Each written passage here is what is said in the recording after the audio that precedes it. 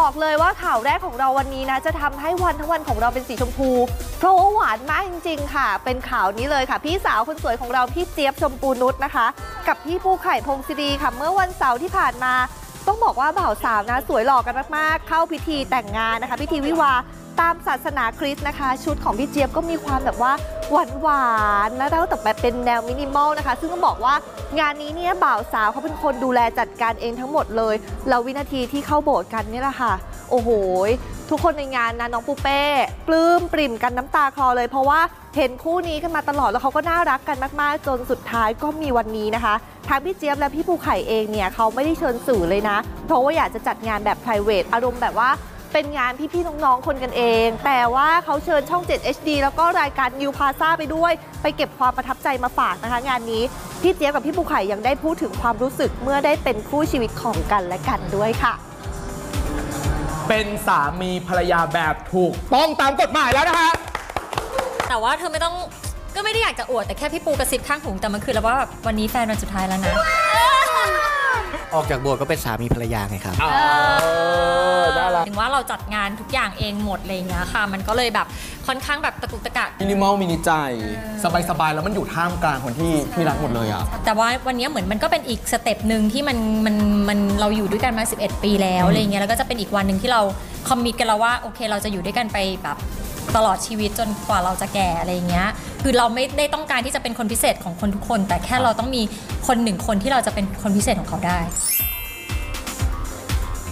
บอกเลยนะคะว่างานแต่งพี่เจี๊ยบพี่ปูไข่เนี่ยเขาไวรัลสุดๆค่ะ เพราะว่านอกจากจะเป็นงานแต่งที่ชื่นมื่นแล้วเนี่ยยังเป็นงานคืนสู่เย้าเหล่านักแสดงช่องเจ็ดนะคะ ไม่ว่าจะเป็นพี่นุ่นวรนุชเพื่อนสนิท พี่เจี๊ยบโสภิตนภา พี่แพนเค้กเขมมนิดและนี่เลยค่ะ แก๊งเบนจาคีตาความรัก ทั้งพี่นาวระพี่พัฒพี่เชียร์ที่คำพร พี่อู่นวพล พี่บิ๊กภูชิสะพี่เฟียวฟ้าว พี่จี๊บคีตพัฒน์ พี่รุ้งรุ้งเทียนและนี่ค่ะ พี่ซีสิวัตรมาพร้อมกับพี่เอมมี่กลิ่นปทุมค่ะ ยังไม่หมดนะคะ งานนี้คุณผู้ชมขาจะขาดแก๊งใดแก๊งหนึ่งไม่ได้ เดี๋ยวคุณผู้ชมจะเห็นภาพนะ เขาเป็นแก๊งในตำนานต้องบอกเลยว่าเป็นแก๊งทิดาซาตานนะคะ จะไม่ไม่มาไม่ได้เลยนะคะ มีทั้งพี่เบนซ์ปุญญพร พี่เกรซการก้าวพี่พิงกี้สาวิกานะคะ แต่ละคนก็คือเฮฮาสุดๆ เพราะว่าเขามารวมตัวกันได้แบบนี้ก็คือยากมากๆ ถ้าไม่มีงานแต่งงานพี่เจี๊ยบนะคะ ทุกคนเอ่ยปากเลยว่าไม่รู้จะได้นัดกันอีกเมื่อไหร่ และที่สำคัญแต่ละคนก็อวยพรคู่บ่าวสาวแบบจัดเต็มเลยค่ะพี่นนท์ครับเห็นไทม์ไลน์แบบความรักของทั้งคู่มานานมากเหมือนกันนะพี่เนาะก็ก็ตามอายุการคบกันของเขาเลย11ปีแหละ อ่าฮะค่ะครัก็บก็เห็นเห็นความเปลี่ยนแปลงมาเรื่อยๆ เนอะแล้วก็รู้สึกว่าคือสองคนเนี้ยเขาแบบเขาคิดดีแล้วแหละ ว่าวันนี้เป็นวันที่เขาแบบเขาพร้อม ก็เห็นเขามีความสุข แล้วก็เห็นเขามีวันนี้เราก็ดีใจ โอ้โห มีความสุขนะ คือทุกอย่างแบบว่ากำลังแบบอบอุ่นดูแบบว่าดูน่ารักไปหมดแล้วเรารู้สึกอินมากอะไรเงี้ย วันนี้อบอุ่นมากเลยค่ะ คือเราไม่ค่อยได้เจอกันเนาะ แต่เราก็เห็นกันมาตั้งแต่วัยรุ่นจนตอนเนี้ยคือโตมีครอบครัวเราเป็นวัยรุ่น เราเป็นวัยรุ่นวัยรุ่น วันนี้ก็ดีใจที่เจอเพื่อนๆครับ แต่ที่ดีใจที่สุดก็คือ เจี๊ยบได้มีสามีที่ดีแล้วมีหนวดแล้วตอบแต่จริงๆคือมีมีผัวตำนานของจริงเพราะฉันคือทิดาซาตานวายุตา วันนี้เธอแต่งงานแล้วนะ ฉันขอให้เธอมีความสุขมากๆ อยากให้เธอมีความสุขสุดๆ หวังว่าเธอกับเขาจะครองรักกันตลอดไปนะจ๊ะ เรารักเธอแล้วเราก็จะเป็นเพื่อนที่โปรเทคเธอไปตลอดเลยนะ